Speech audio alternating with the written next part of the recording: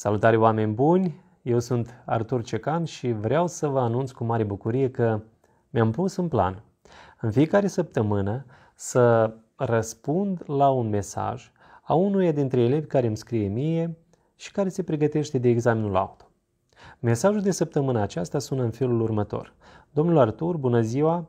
Îmi puteți spune dacă marcajul 111 de pe strada Sarmisegetusa cu virare la stânga spre strada cu Zavodă mai este valabil, căci astăzi am primit penalizare la examen, menționând examinatorul că trebuia din timp să preselectez banda extremă stângă și că acel marcaj nu mai este funcțional. Vă mulțumesc pentru răspuns. Da. Deci, în poza următoare, care o vedem acum, vedem că marcajul rutier este vizibil. Această poză este din toamna aceasta.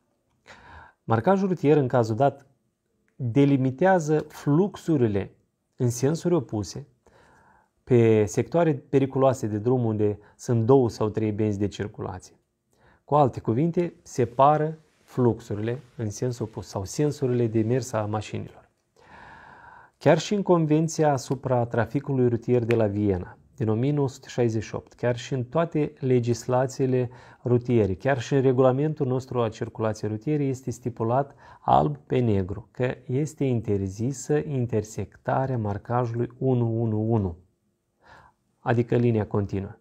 Cu excepția că uh, atunci când marcajul 1.1 delimitează uh, marginea carosabilului pentru a opri fortuit sau pentru oprire fortuită sau pentru vehiculele cu regim prioritar la care sunt uh, puse concomitent și semnalul sonor și girofarul.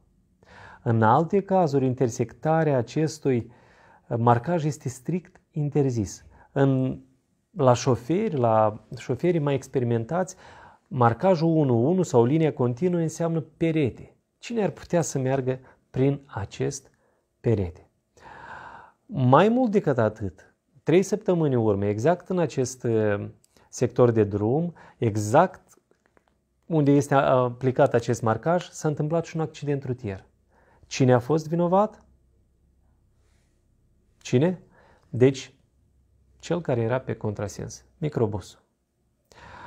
Ar fi paradoxal sau ar fi uh, total Mm, fără logică. Dacă ar, am întrebat pe fiecare învățăcel, fiecare elev, care, fiecare om care se învață acum la școala auto, este permis intersectarea marcajului 1-1, adică linia continuă, sau este interzisă? Fiecare vă va zice că este interzisă. Și imaginați-vă dacă noi le zicem că se poate să meargă peste acest marcaj. Și în momentul când se poate peste acest marcaj, se întâmplă un accident rutier. Vine poliția și zice în felul următor, ce cauți pe contrasens? Se interzice intersectarea acestui marcaj. Și atunci el va zice, așa m-am învățat la, la instruire, la practică.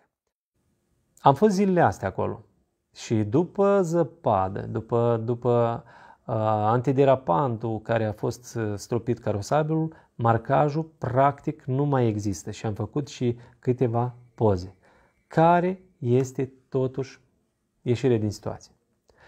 Deci, dacă nu este marcaj, din timp selectați banda a doua. Iată, acum dacă nu este marcaj, selectăm banda a doua din timp. Însă dacă mâine marcajul va fi aplicat, eu niciodată în viață nu vă voi zice să treceți sau să intersectați acest marcaj, deoarece este interzis.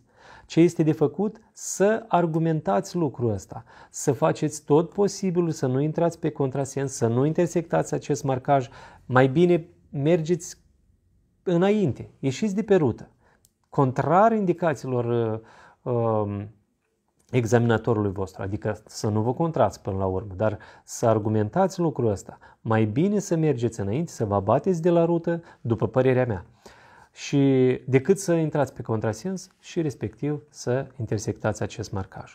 Deci, dacă este marcajul, mergeți înainte, nu intersectați acest marcaj, dar selectați banda a doua mai târziu, după marcaj. Dacă nu este marcajul, ca în cazul dat, ca în zilele acestea, dragii mei, puteți să selectați banda a doua fără nicio frică. De aceea, sper că v-am răspuns la acest uh, mesaj și aștept următoarele. Vă îndemn să vă abonați totodată la canalul meu personal www.arturcecan.com unde veți găsi foarte multe materiale pentru cei interesați de a se pregăti pentru examenul auto. De aceea, vă aștept la următoarea emisiune. Succes!